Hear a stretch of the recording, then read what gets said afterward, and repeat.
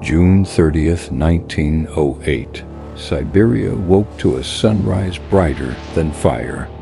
A massive explosion ripped through the sky, flattening over 80 million trees in seconds. The shock wave was so powerful, it shattered windows hundreds of miles away. People thought the world was ending, but this wasn't a bomb. It was the Tunguska event. A space rock the size of a 25-story building entered Earth's atmosphere, moving faster than a bullet.